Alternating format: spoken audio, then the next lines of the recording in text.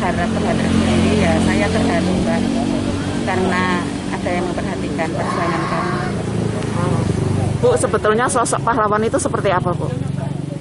Sosok pahlawan bagi saya itu orang yang mau berjuang untuk orang lain tanpa meng- mengharapkan imbalan apa pun. Selama ini Ibu melakukan apa, Bu? Di Ngudi Waras? Ya saya mengelola Posyandu Budi Waras dengan segala kemampuan saya agar bisa maju seperti yang lain. Hmm, Sejak tahun berapa, Bu?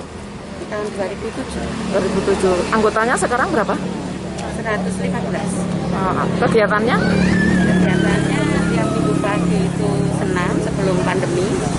Setiap bulan ada cek kesehatan.